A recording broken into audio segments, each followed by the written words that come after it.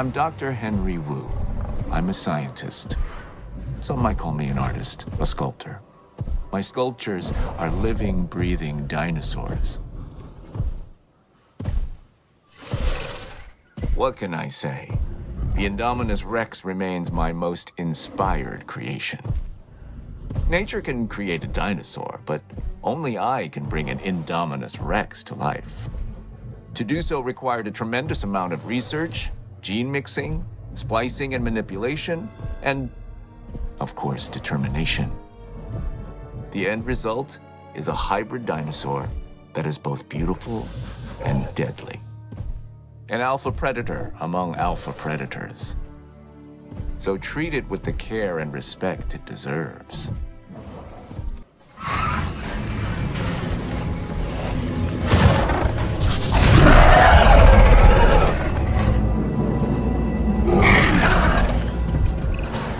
I'm Dr. Henry Wu. I'm a scientist. Some might call me an artist, a sculptor. My sculptures are living, breathing dinosaurs. The Indoraptor. This is a dinosaur created with a purpose. It can even see in the dark and uses echolocation to find its prey. Now, nature might eventually have created the Indoraptor, but I got there first. Is it dangerous? Yes. But and so is science.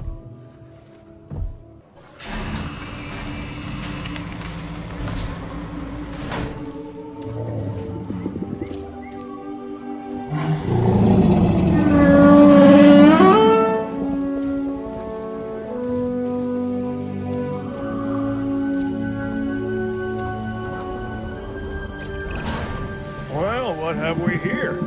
It's an Amargasaurus, according to the paperwork I have in front of me. Another interesting factoid. Its long neck meant it probably liked to feed on the taller branches of trees and such. At least that's what it says. Guess we'll find out, huh?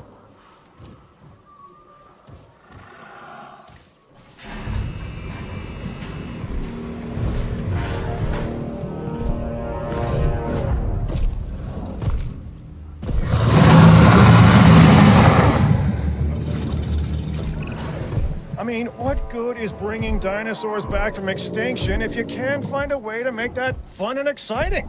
And profitable, huh? That's where Isaac Clement comes in. He deals with the show, I deal with the business, huh? This bipedal predator is called the Acrocanthosaurus, and it is a dinosaur that has what I like to refer to as presence. When it's around, you know it. This animal should make for a killer exhibit. I mean, it being a killer and all.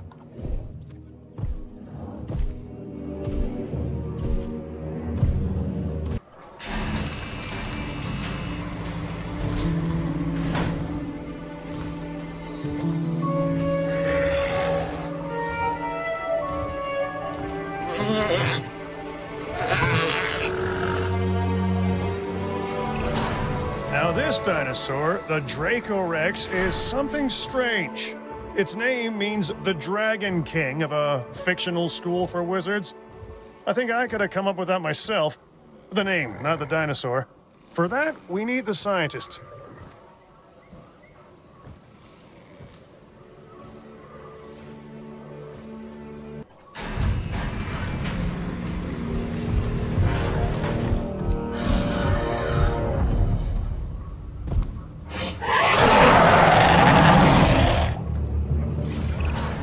I mean, what good is bringing dinosaurs back from extinction if you can't find a way to make that fun and exciting? And profitable, huh? That's where Isaac Clement comes in. He deals with the show, I deal with the business, huh? Okay, this is amazing. A baryonyx. These animals have very large claws on their first digit. This dinosaur also likes water, so Take a moment to consider its needs when planning out a suitable habitat for it. The baryonyx was originally thought to be a scavenger, but now, with live animals to study, we can find out for sure.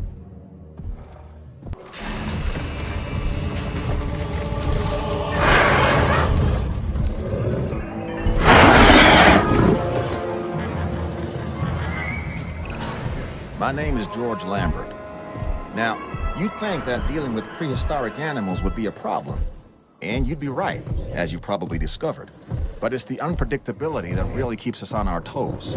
Sure, the scientists can bring dinosaurs back, but fences keep them in. And without them, the fences, I mean, none of this is possible. This is a Cryolophosaurus, one of the more colorful members of the collection. It's a carnivore, so take the necessary precautions and don't let its looks deceive you.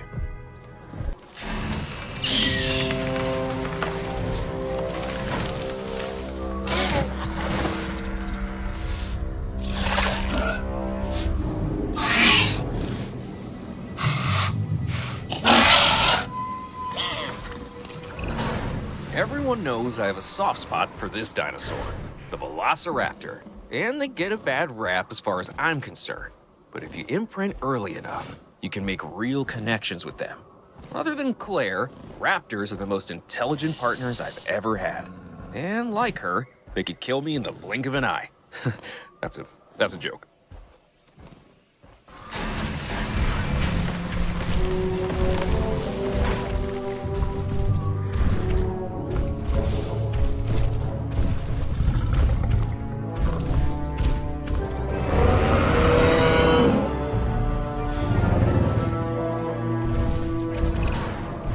Can be said about the Triceratops? This is one of those dinosaurs that really defines our business. People want to see them, and we want to share them with the world. Don't let that fearsome appearance fool you. Those horns are mostly for defense and impressing other Triceratops. This animal is an herbivore.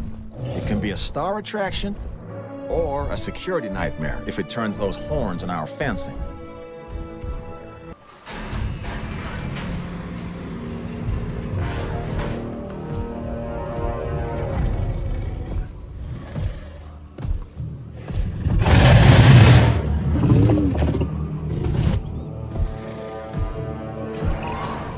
Qianzhousaurus. Neat. Really great that we're bringing back all these fast, hungry predators. Even better that I get to stay in the office with locks on the doors.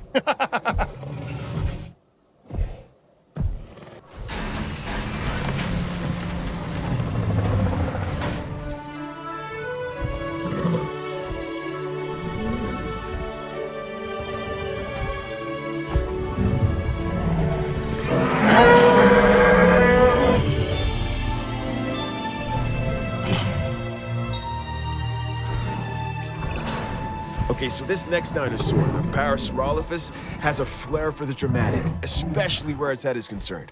It has a distinctive cranial crest, which is used for added resonance in its vocalizations and to regulate its body temperature.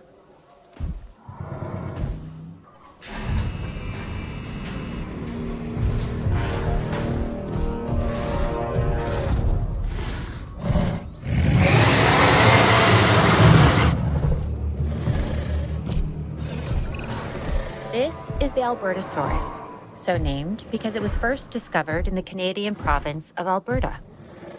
This animal is a smart predator that relies on its rows of sharp teeth. They exhibit pack behavior, which is very exciting to witness, as long as you're doing so from a safe distance.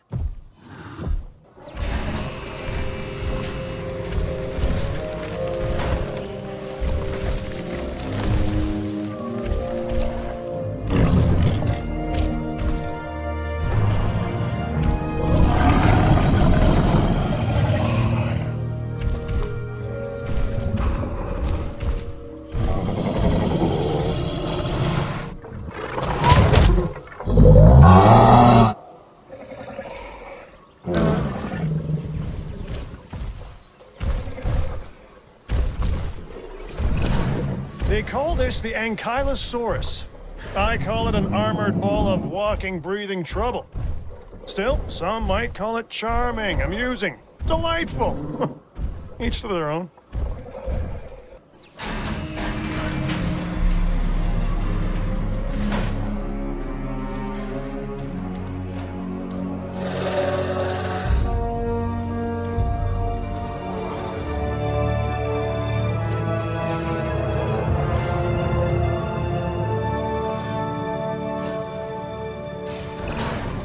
First discovered in China, the Chungkingosaurus has distinctive twin plates that run along its back. And it can swing its spiked tail, called a thagomizer, like a massive medieval mace. This is a dinosaur best observed at a distance.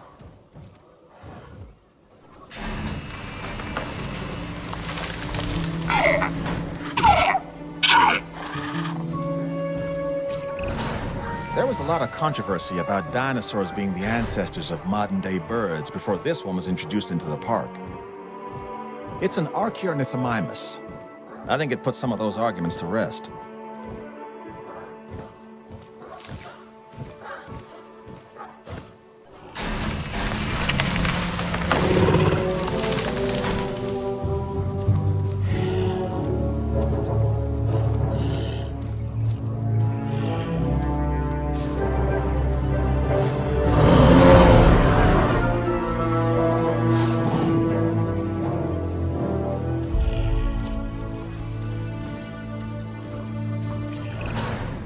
About the opposite of subtle. And I don't mean Owen. No, this is the Chasmosaurus. It has dynamic coloring and these large openings, called fenestrae, in a frill that rises above its head. This is a dinosaur that says, Look at me. So, maybe a little like Owen.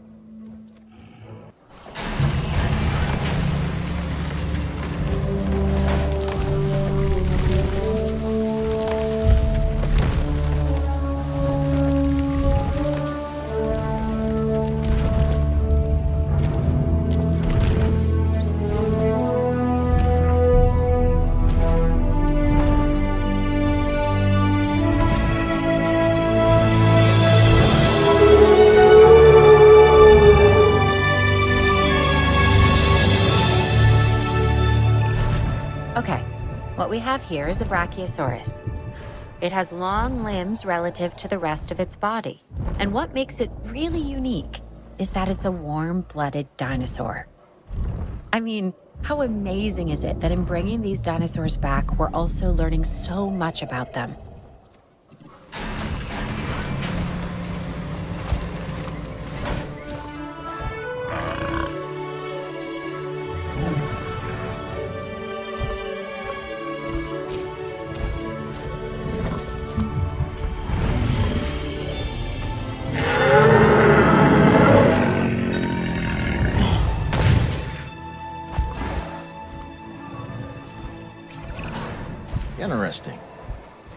An This is an herbivore that can move on all four feet or go upright and walk on its hindquarters.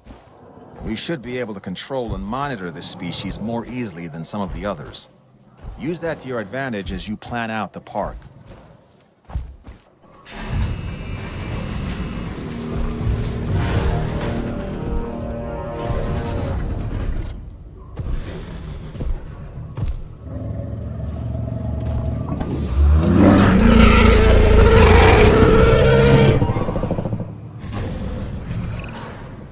Stay with me. This dinosaur is called a Carcharodontosaurus. Talk about a mouthful, right? And seeing that this animal is an alpha predator, its mouth is usually full of the slow, the weak, and the inattentive. Hence the reason I'm not getting near it. You, on the other hand,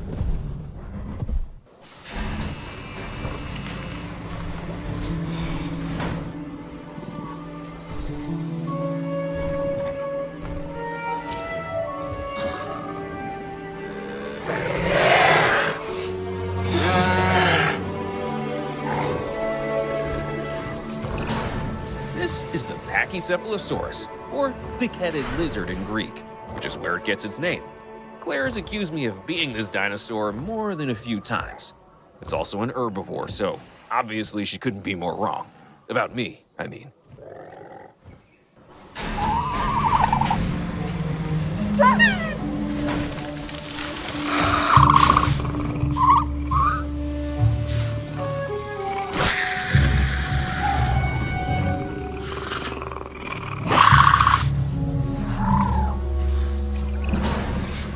Dinosaur, the Dilophosaurus, has a distinctive neck frill it can expand when it senses danger. It's also been known to spit into the eyes of its prey, blinding it before it goes in for the kill.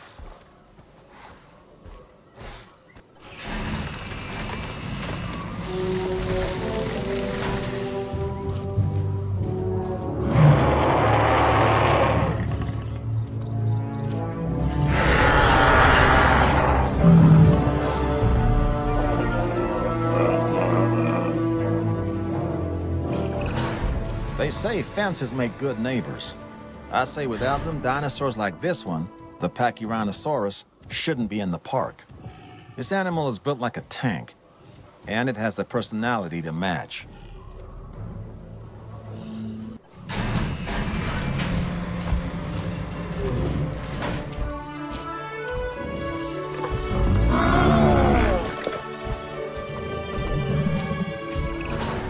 This dinosaur is large, bulky, and has a stubborn disposition. It's called the iguanodon. It's an herbivore with attitude. I'd suggest giving it a wide berth.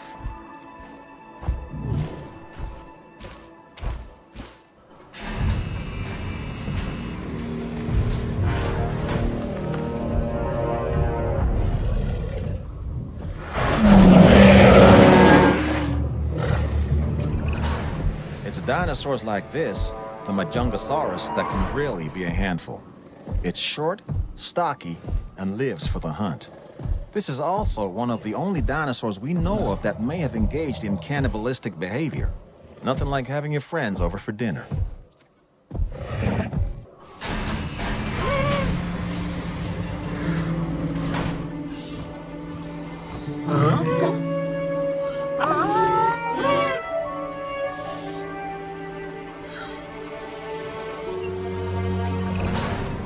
This animal's primary habitat was the ancient primordial forest that once covered this planet. It's called Dryosaurus. Before our research, there was no information on adult specimens of this dinosaur. We only had the fossilized record of juveniles. But now, that's all changed.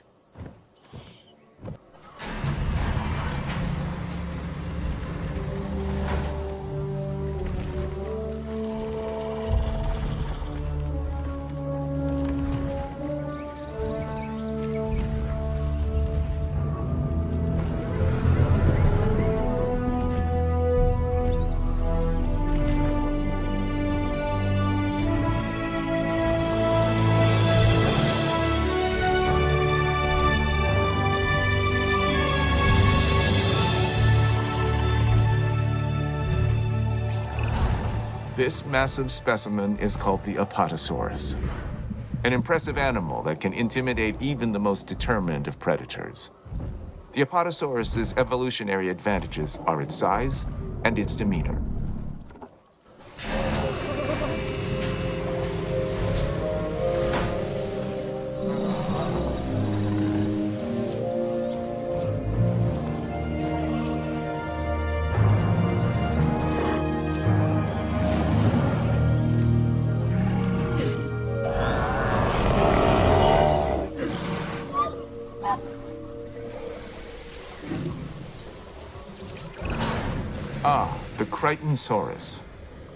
Named after the author, Michael Crichton.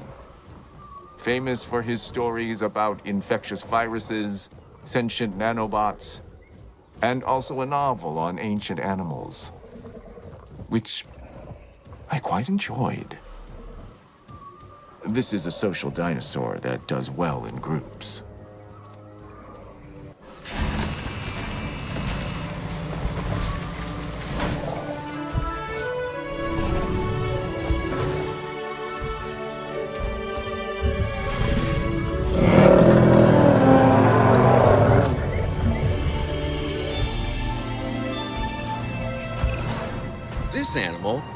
Maiasaura, is known as the Good Mother reptile because its fossils were first discovered in a nesting colony. And really, who doesn't love a good mother?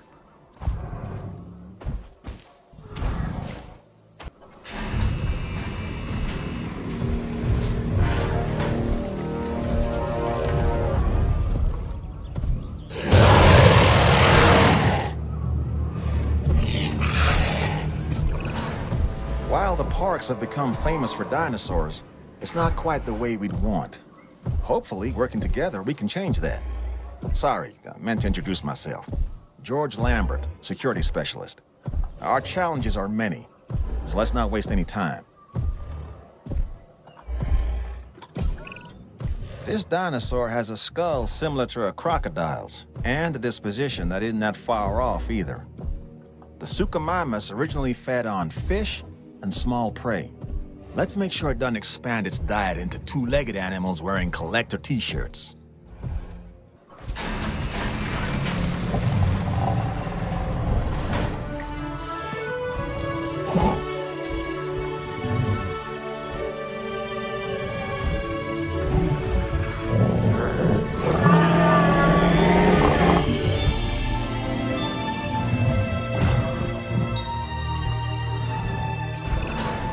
This dinosaur, the Corythosaurus, is a duck-billed animal that looks like it's wearing a helmet. I mean, check that thing out. I wouldn't want to butt heads with it.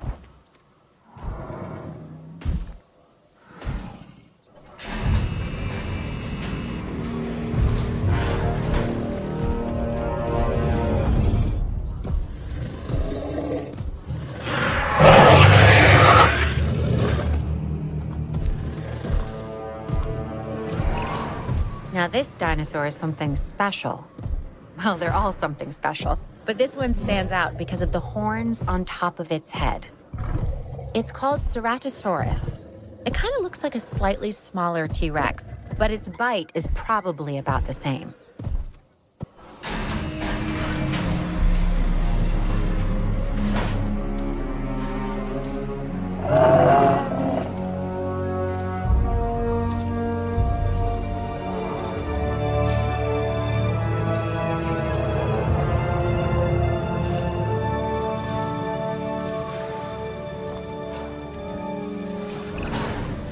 Gigant Spinosaurus you have here doesn't quite live up to its name.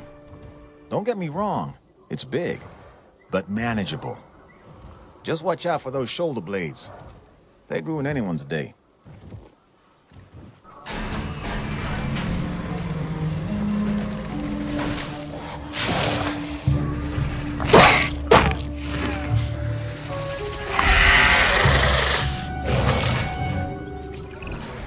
Now, what we have here is a Herrerasaurus. It's a carnivore and a spectacular addition to our dinosaurs. It just requires a little TLC.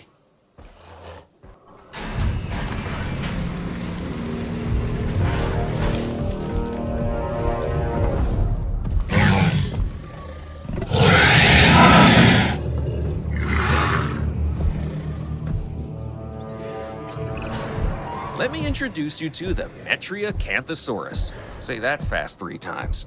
This is another alpha predator that, while not as big as some of its cousins, tends to stand more upright. So I guess it has good posture while it's tearing you to shreds.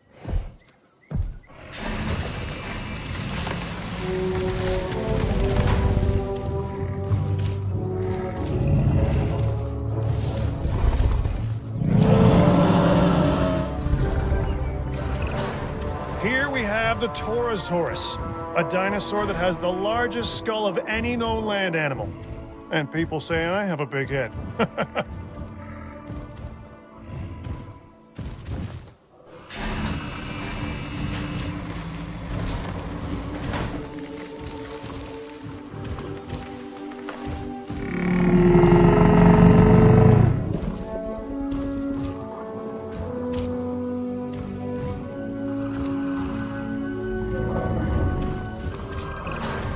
This sauropod, the Nigersaurus, was originally discovered in fossilized form in the Republic of Niger, hence the name.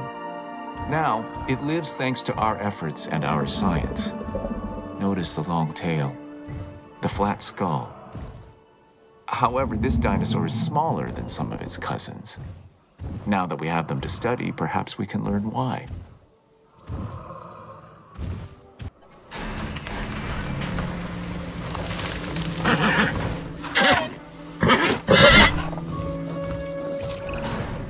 Dr. Kajal Dua.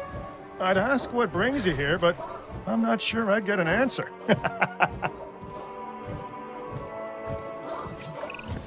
Some of these animals present a real test of our abilities. Take, for instance, this latest dinosaur, the Gallimimus. It's an opportunistic omnivore that does best in groups. That alone isn't the problem, but the speed. Gallimimus is incredibly fast, which presents special challenges for the ranger teams tasked with monitoring them.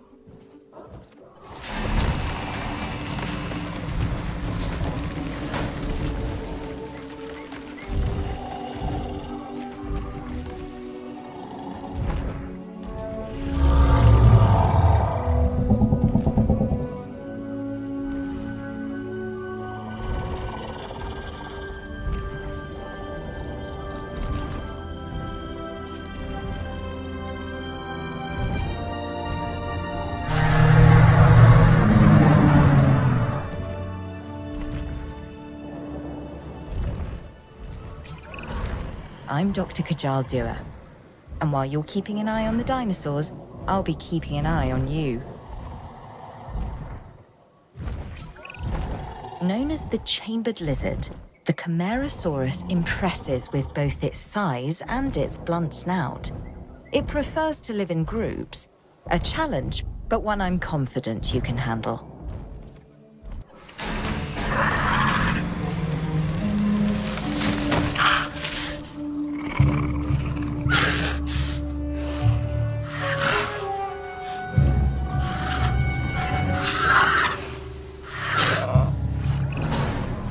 Dinosaur is important for a number of reasons. I mean, they're all important, but this one, the Deinonychus, was the center of debate among paleontologists for many years. Specifically, were the dinosaurs cold blooded or warm blooded animals? With them alive and in the park, we have our answer.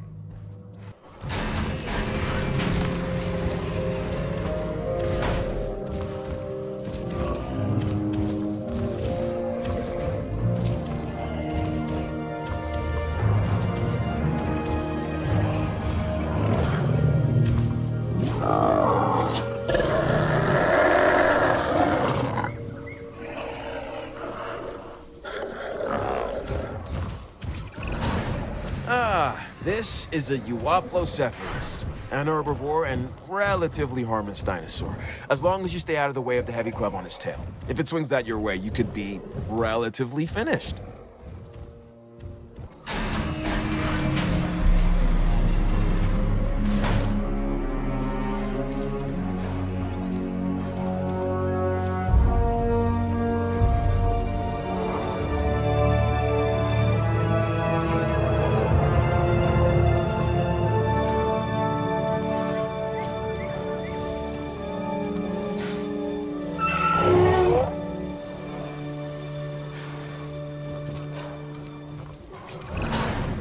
My Chinese isn't very good.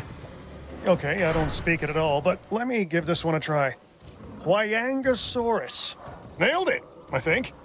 Anywho, this is a type of stegosaur that was first discovered in the Sichuan province of China. It's a popular species with our guests and with crossword puzzle creators.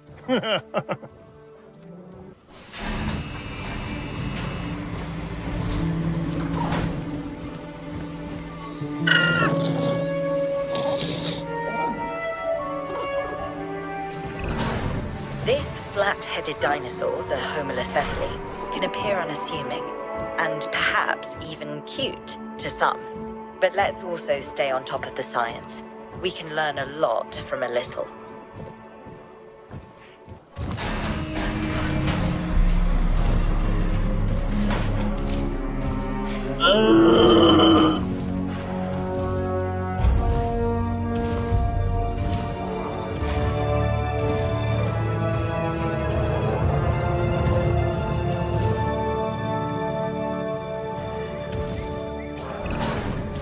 Kentrosaurus is another of those spiky-backed dinosaurs. A dinosaur that relied on intimidation to keep the predators at bay. And failing that, a difficult meal to catch and chew. Think of it as a prehistoric porcupine.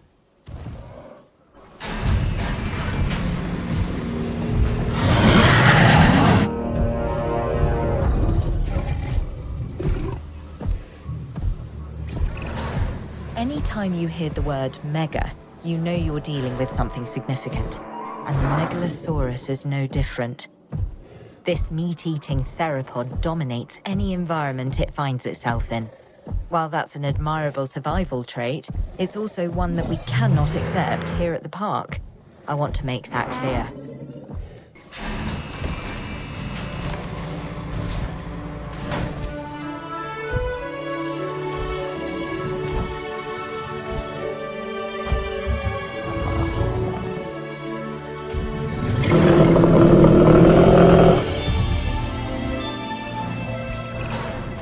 It is possible for a dinosaur to be both elegant and awkward at the same time, then the Muttaburrasaurus takes the prize. This is a large herbivore that should make for an excellent addition to our collection.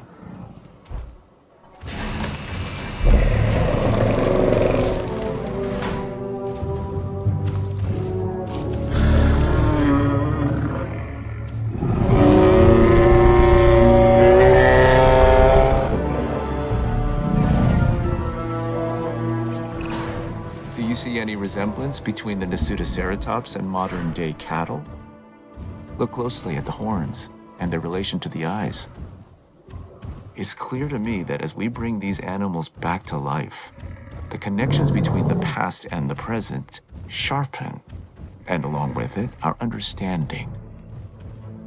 This is what my science is all about.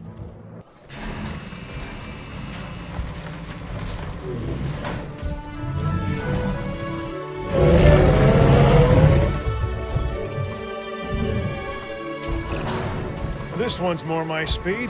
The Ouranosaurus is named after the Arabic word for courage, which is kind of my thing. This dinosaur is easy to care for and really only wants a comfortable place to eat and rest, and to be left alone. Sound like anyone you know?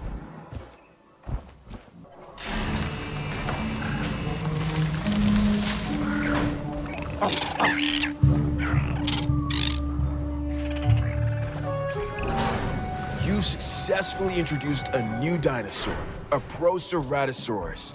This animal is instantly recognizable by the colorful crest on its snout. While smaller in stature than some of the other predators, it is not a dinosaur to be taken lightly, let me tell you.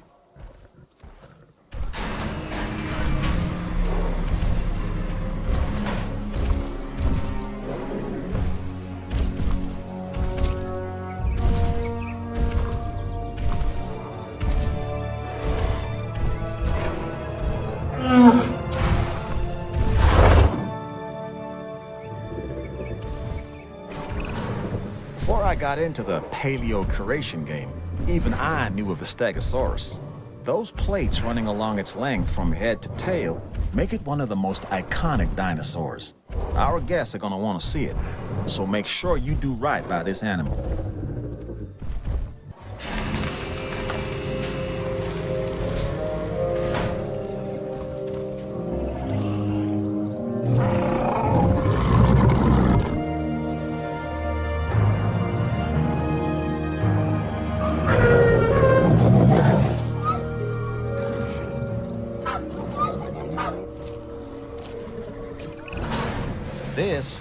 Is the Polacanthus, and it's covered in armor plates and spikes.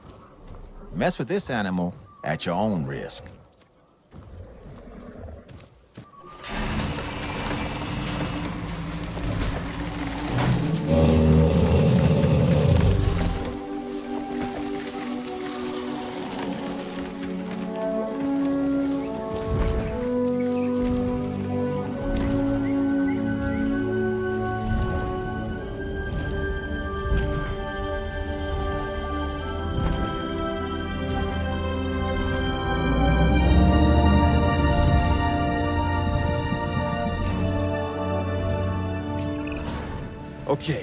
This dinosaur is something special. Seriously, look at the size of this thing. It's called the Mamenchisaurus. This thing is one of the largest animals to ever walk the earth. And now, thanks to the wonders of genetic engineering, it's doing just that again.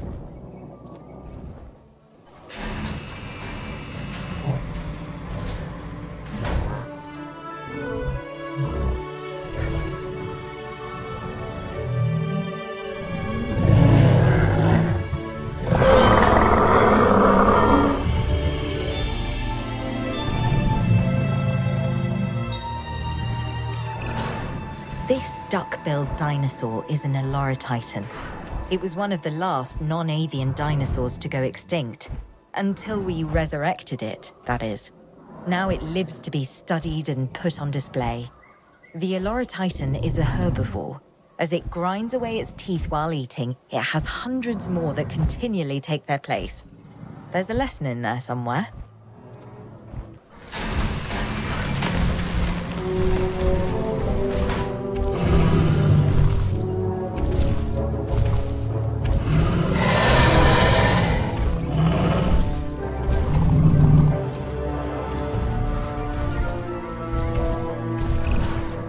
So the Pentaceratops here. It has five horns. One on the nose, two on the brows, and two extending out from its jugular bones. It seems excessive, but maybe it's necessary.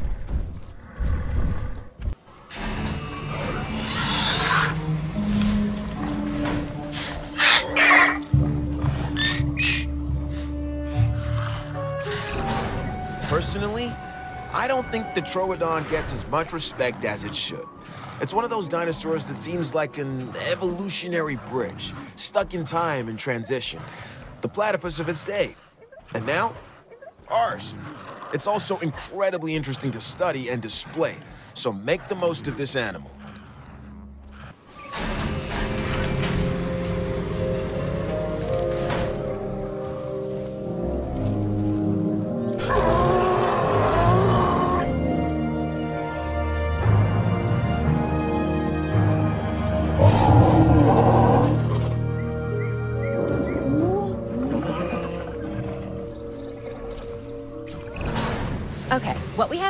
Is a Nodosaurus.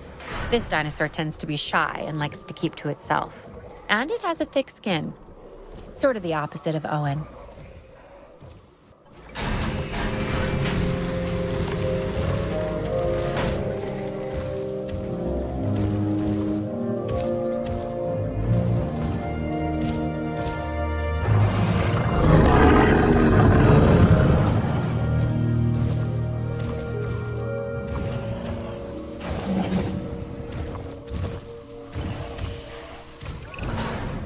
Interested in a dinosaur with an extremely long tail? Then this dinosaur is for you. It's called the Sauropelta. Covered in bony armor, it has long spines projecting from its neck. All that being said, it is a relatively calm animal when placed in the right environment.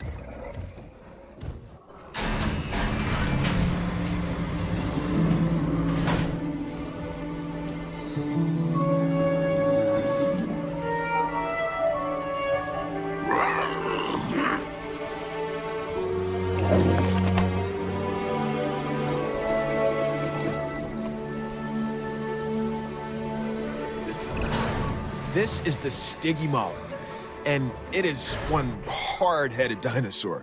It has an armored dome crowned by horns. Despite this, it's a social and relatively docile animal, unless threatened. Then steer well clear of it. This dinosaur can do a number on its enclosures and bash its way through any number of obstacles. Take that into consideration when you're planning its environment.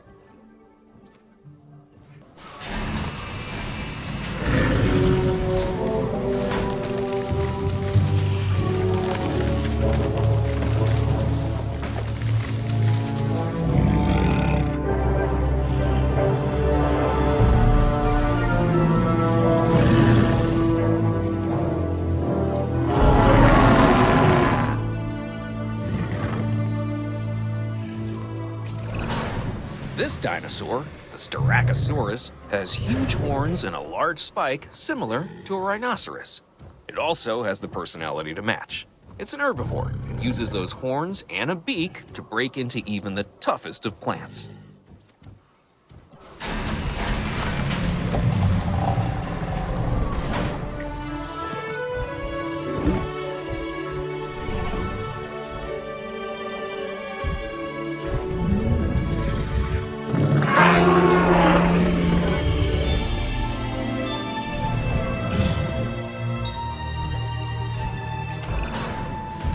Here's a funny little dinosaur. Correction, a pretty decent sized one, if the truth be told. It's called a Centausaurus. The T is silent. Like the pee in swimming? and it has a mohawk. At least, that's what I'd call it.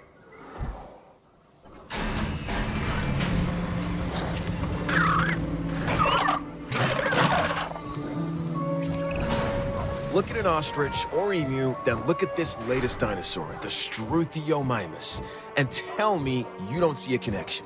This is one of the more bird-like dinosaurs that we've brought back from extinction.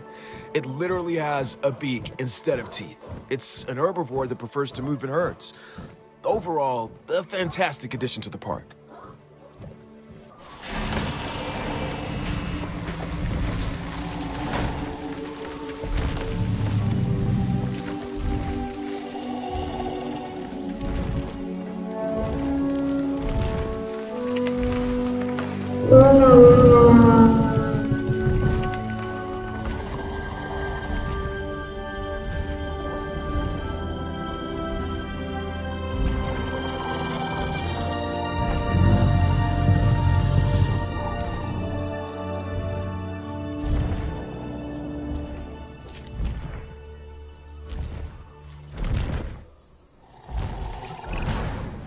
Another massive animal. The Diplodocus was once considered the longest animal that ever lived. And now, thanks to our extensive research, it's back. My task is to make sure we learn everything we can about this dinosaur. Your task is making sure these magnificent creatures can survive in the modern world.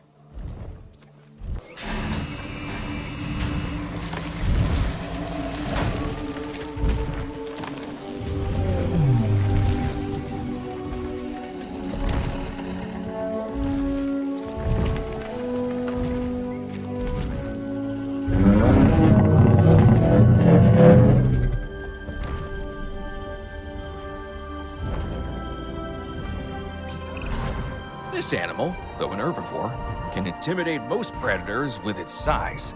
It's a biggie named Dreadnoughtus. I'd give this dinosaur a wide berth.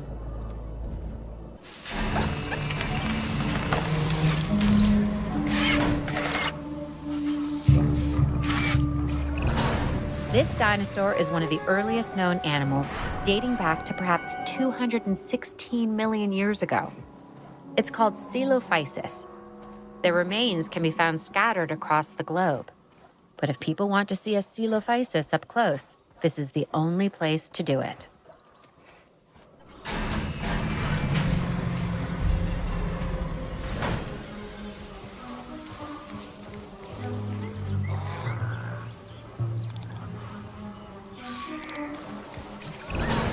The Compsognathus is a small predator, but don't let its stature fool you. It can be a ruthless hunter.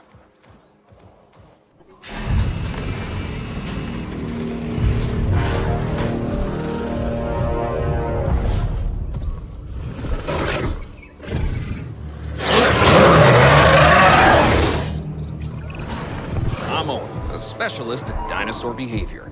I've formed a unique bond with the raptors. Now, don't be jealous. Nice, Carnotaurus. You can recognize this predator immediately by the horns on its head, which give it a real rock and roll appearance. Those powerful legs can get this dinosaur moving as well, so probably best to stay out of its way. This dinosaur is so metal.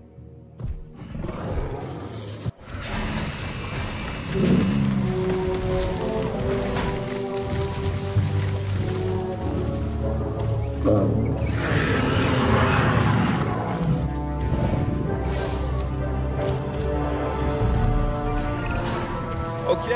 I'm Isaac Clement. Together, we'll create the most spectacular dinosaur park imaginable, and hopefully not die in the process.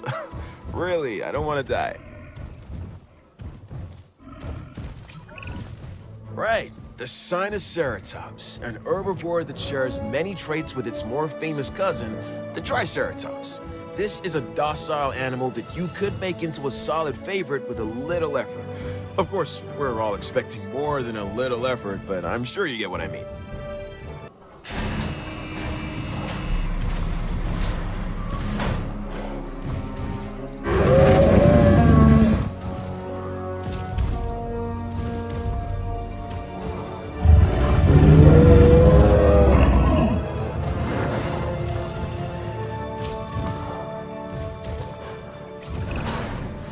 Spend too much time looking at those plates. When it comes to the Wuerhosaurus, it pays to keep an eye on this animal's thagomizer. You don't want to be on the receiving end of a swing of that tail.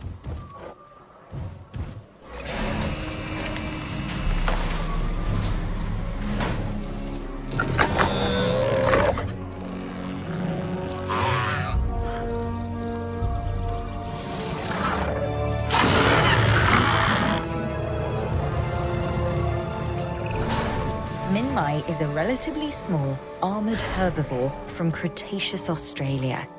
What sets this species apart from other members of its family are the horizontally orientated plates that run along the sides of its backbone. Hence the binomial name, Minmi paravertebra.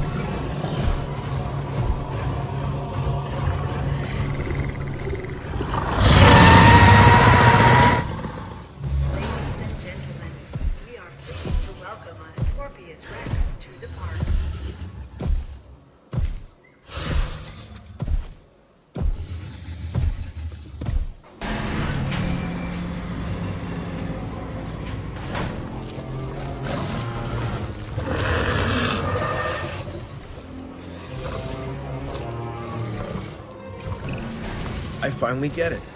I finally understand why people have a fear of the dark. Once you peer into the shadows and see a pair of Dimetrodon eyes staring back at you, well, you'll be having nightmares for years. That's if you're lucky enough to walk away, because believe me, not everybody is.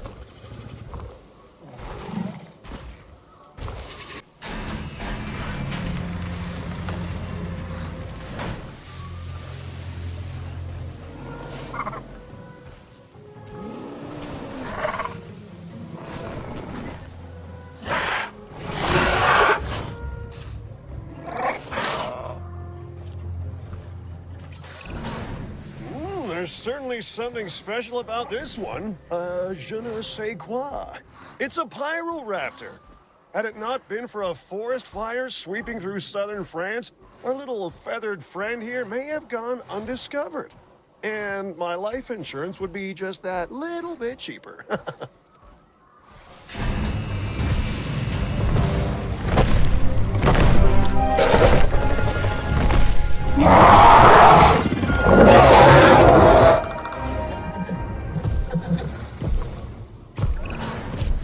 Just when you think you've seen it all, along comes the Therizinosaurus. And believe it or not, those huge claws you see, they actually help to feed on vegetation. For real. But, uh, just do me one favor, okay? Don't let it near my hair with those things.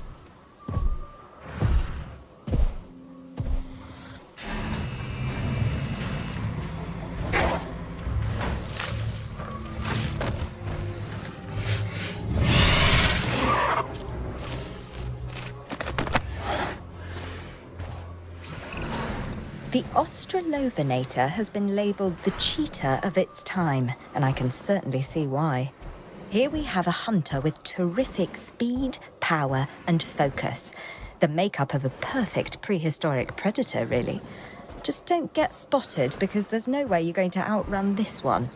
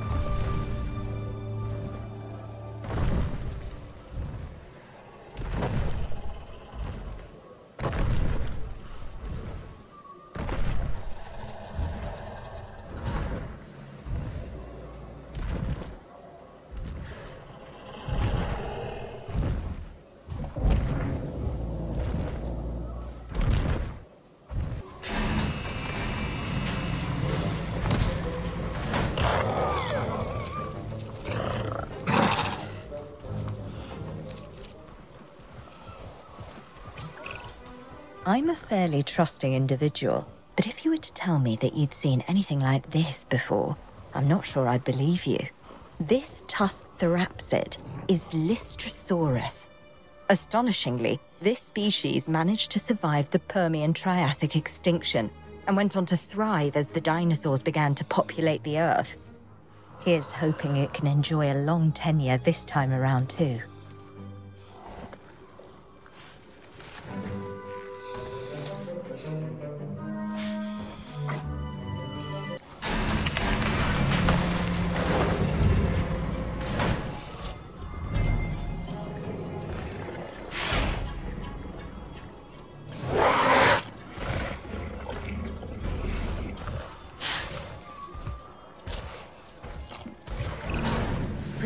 Often talk about the thrill of the chase, but if you got one of these on your tail, you'll soon become the kill of the chase. This right here is the Atrociraptor, a truly tenacious hunter, and it is simply relentless. At least, that's what I'm told. I don't intend to find out firsthand.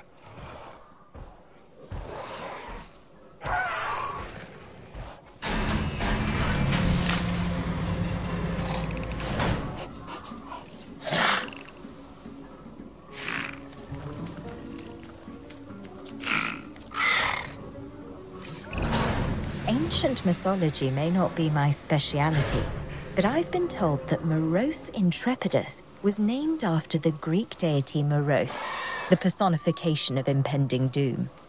It was said that he gave people the ability to foresee their demise. And if you come face to face with this tyrannosaur, I suspect there is a good chance you will meet your fate.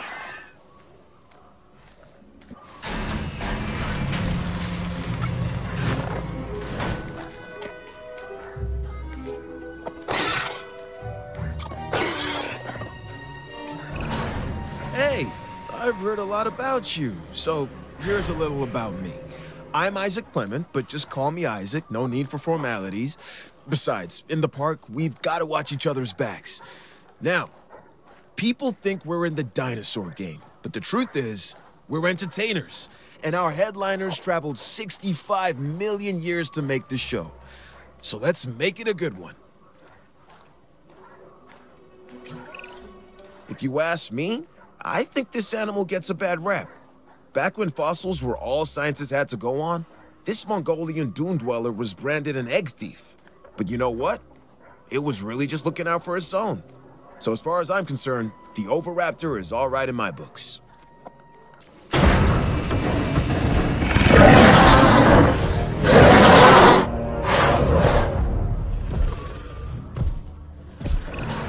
Every dinosaur that's recreated is important, but some also capture our imaginations.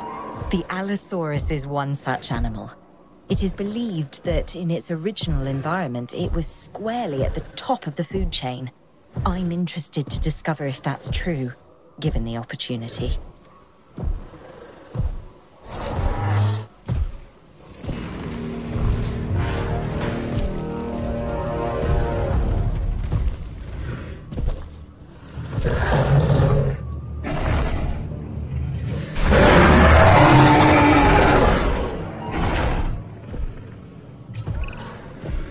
Often confuse this animal, the Giganotosaurus, with the T-Rex.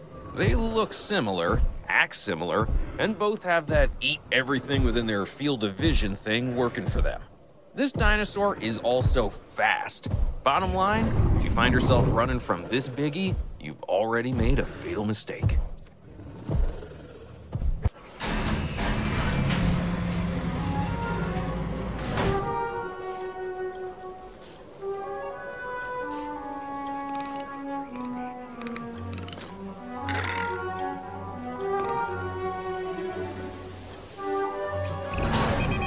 Might think that the Sinosauropteryx is the perfect size for a cute plushie to take home.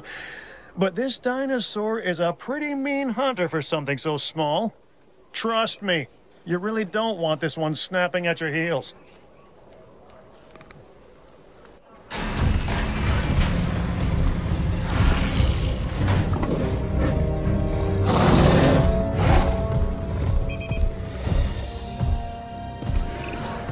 I'm Dr. Kajal Dua.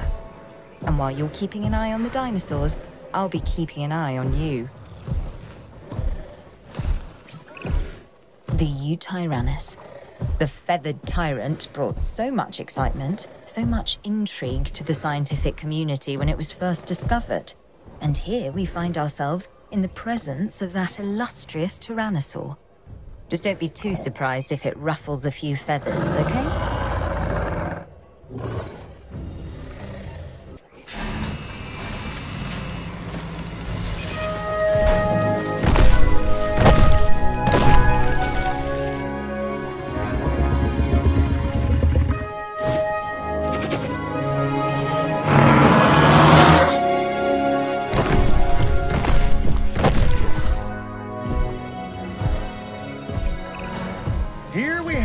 Deinocheirus.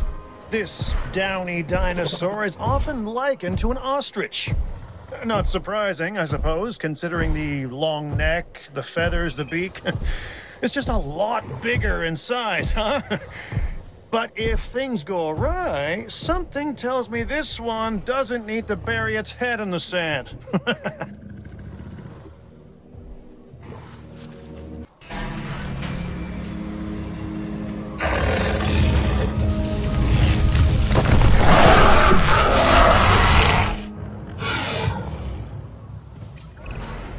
Okay, even I have to admit that this next dinosaur is impressive. The Spinosaurus is perhaps the largest of carnivores. Of course, I'll never get close enough to one to see for myself, but that's why I have you.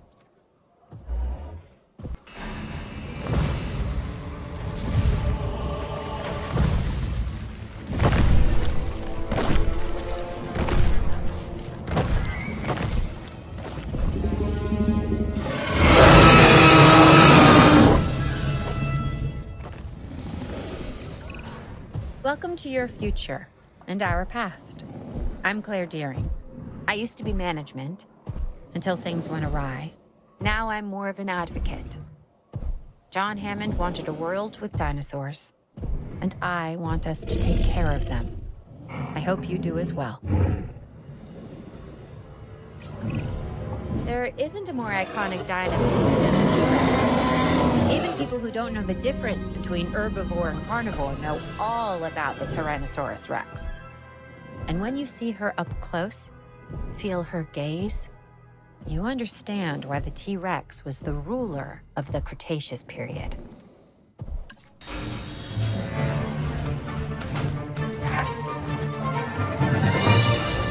Allow me to introduce myself. I'm Dr. Kajal Dua. I'm something of a perfectionist, and I demand it in others. So I expect that you'll do your best.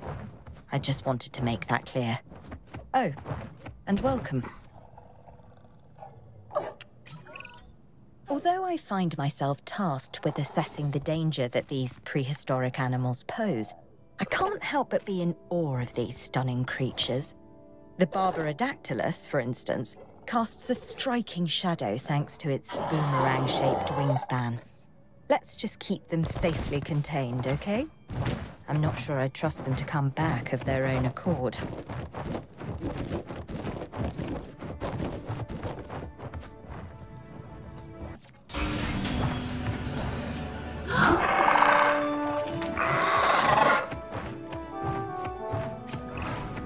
While the parks have become famous for dinosaurs, it's not quite the way we'd want. Hopefully, working together, we can change that. Sorry, meant to introduce myself. George Lambert, security specialist. Our challenges are many, so let's not waste any time. Honestly, the flying animals concern me the most from a security standpoint. We can round up escaped land animals, but when they take to the sky, all bets are off. This is the Cearadactylus, and we need to make sure it stays confined to the aviary. The only known species of this animal before today was named after the Latin name for frightful. That should tell you something.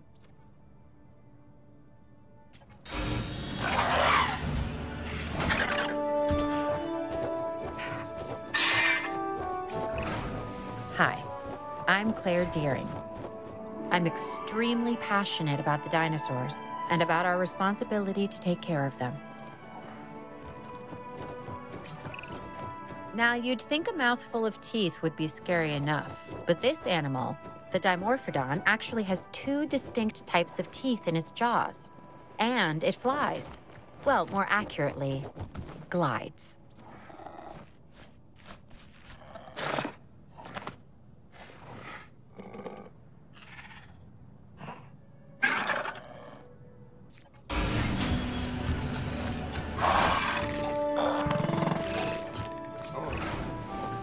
My name is Isaac Clement, and it's great to finally meet you.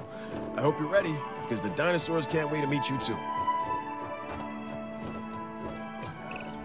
I'm not sure about you, but I've not seen anything like this before. Check it out, the Dsungaripterus. This pterosaur would use its curved jaws like a crowbar, levering shellfish out of the mud before cracking them open with their blunt teeth. That's pretty resourceful, huh?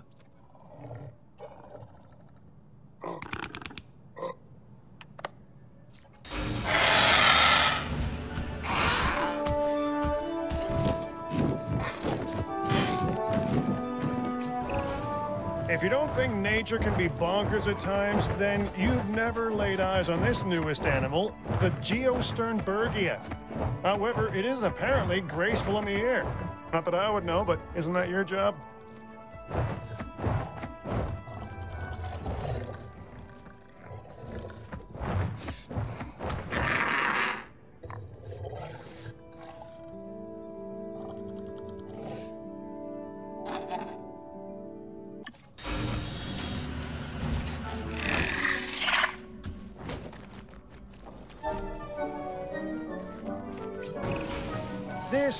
Fuzzy little reptile is the Jeholopterus. It's pretty cute, huh?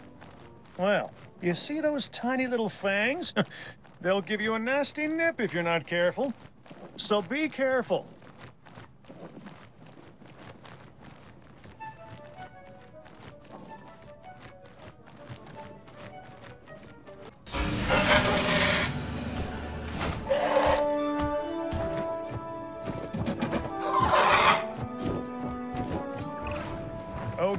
This latest animal is also a flyer, the Maaradactylus. Its name is based on an ancient legend of a chief's daughter. Her name was Mara, turned by sorcery into a river monster with long teeth that devoured fishermen. Change a few of the details, and this could be my ex.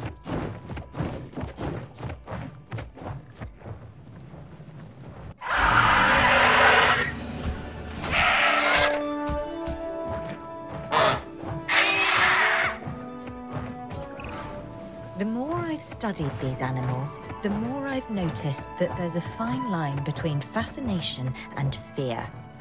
Prehistoric flying reptiles like the archetypal Pteranodon have captivated my imagination since I was young. Yet there's something about these creatures that makes me feel somewhat cagey, shall we say?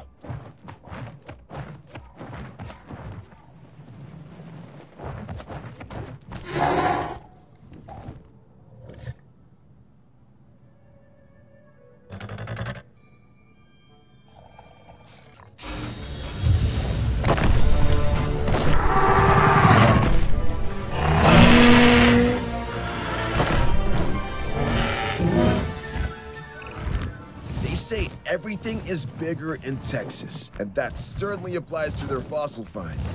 This towering pterosaur is definitely one for the record books. We're talking about one of the largest flying animals, like, ever. It's not a bird, and it's not a plane. It's a Quetzalcoatlus.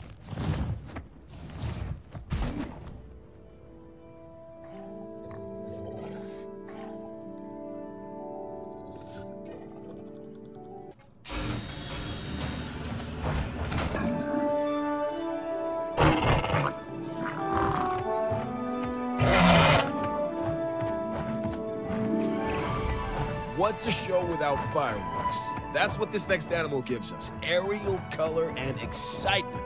And check out that sail behind its head. It's spectacular. Oh, I, I meant to say that this is a Tapejara, one of our more interesting flying species.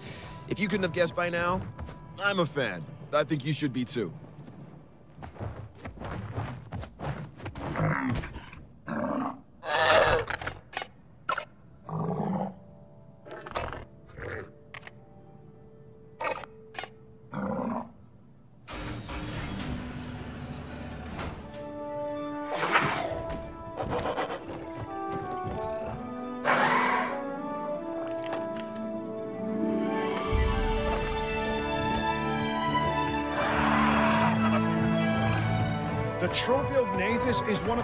Pterosaurs and is known for its keel-tipped snout.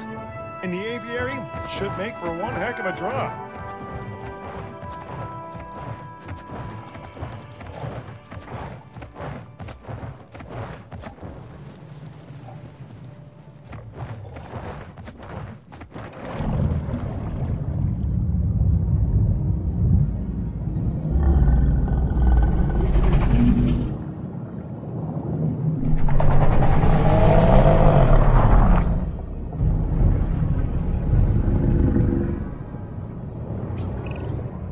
When people come to the park, they want to learn something, sure, but they also want to be entertained. And this marine reptile, the Mosasaurus, is just that a showstopper. If the T Rex is the ruler of the dinosaurs on land, then the Mosasaurus holds that title below the waves. Make sure this animal is a premium attraction.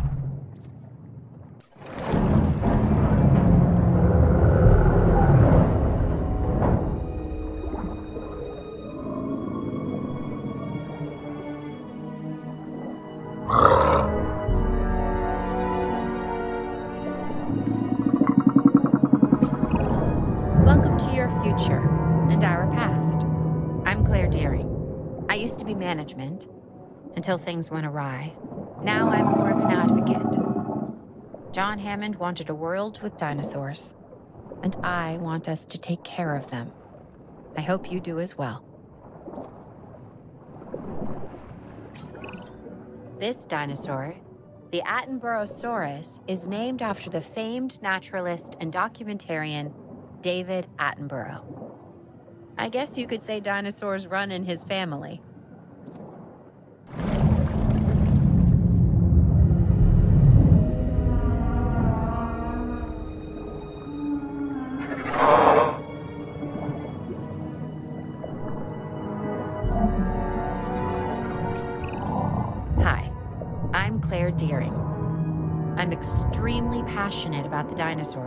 And about our responsibility to take care of them.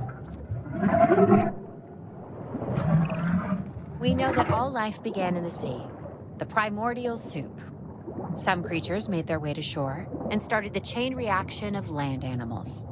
Others stayed in the oceans, like the Elasmosaurus, and set the pattern for the marine life that would follow. This beautiful animal has a long neck and a flat tail. With the right setting, it should really attract the crowds.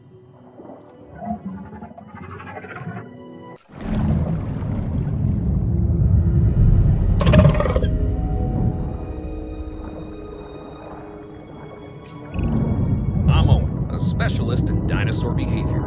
I've formed a unique bond with the raptors. Now, don't be jealous. While dinosaurs once ruled the earth, other animals ruled the seas. Take the Ichthyosaurus, a perfect example of what I'm talking about. They have a large dorsal fin, much like a dolphin. Or actually more like a shark.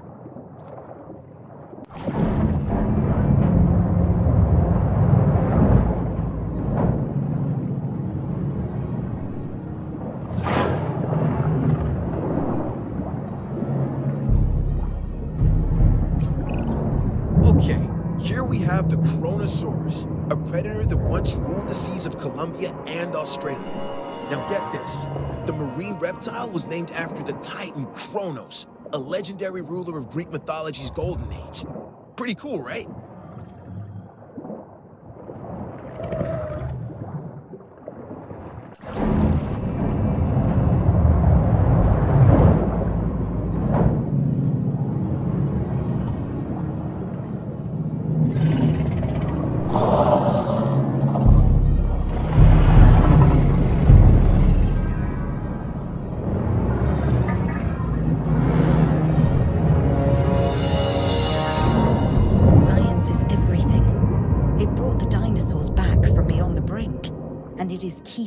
Here now.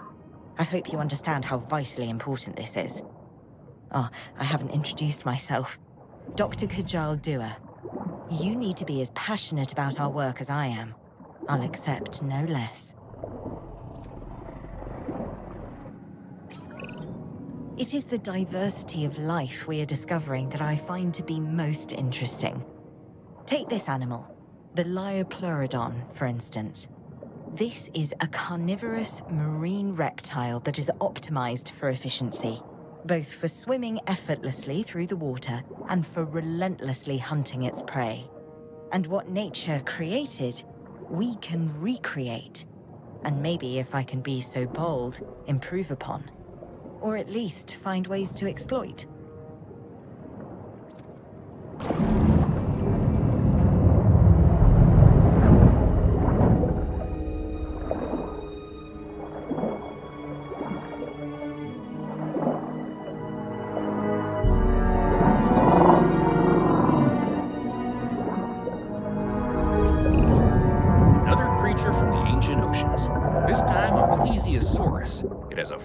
Body, an elongated tail, and four powerful flippers that help it glide through the water. Like modern day sea mammals, it has to come up for air. It basically spends its time surfing and eating, which is not a bad way to live.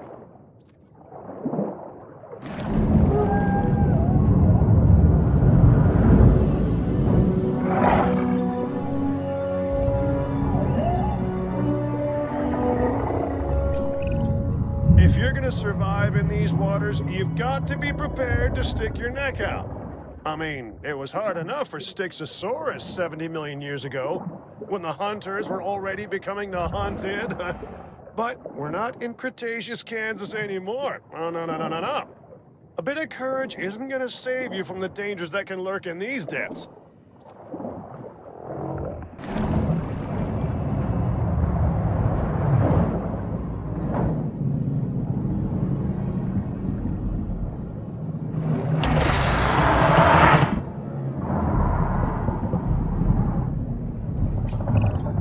Remember when you were a kid and they told you not to eat, then go in the water? But with this predator, the Tylosaurus, if you go in the water, you're gonna get eaten. I mean, seriously, this is every sailor's nightmare come to life.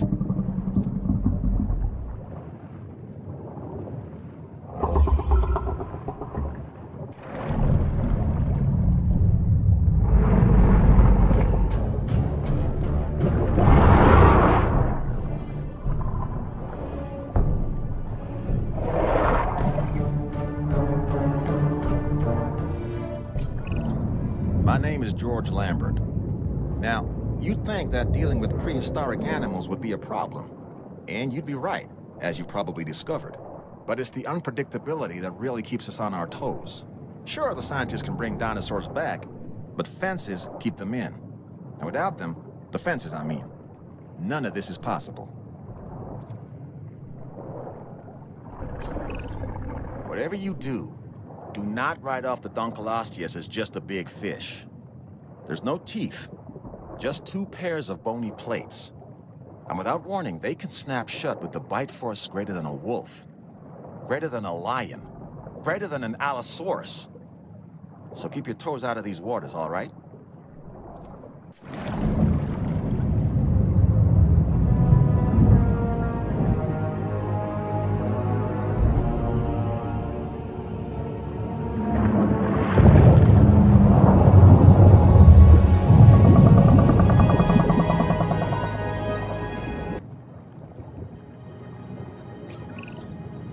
Of the largest known ichthyosaurs to have ever lived, Shonisaurus is a scientist's dream. Years of studying their fossiled remains filled researchers with a vision. A confident vision, but a vision nonetheless. And now we see it realized before our very eyes, ready to show the world.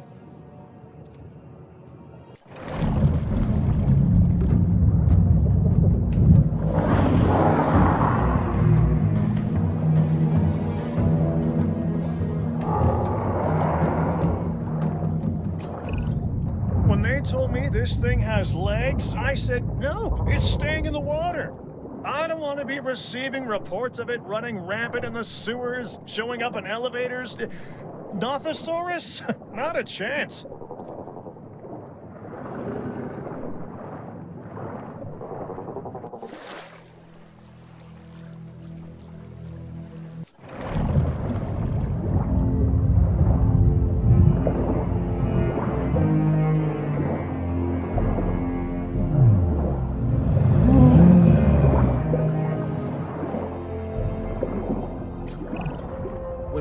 About the animals that have inhabited this planet the longest, it's normally the likes of crocodiles and sharks that spring to mind first. But Earth's prehistoric waters were also home to some mighty impressive turtle species, just like this one, the Archelon.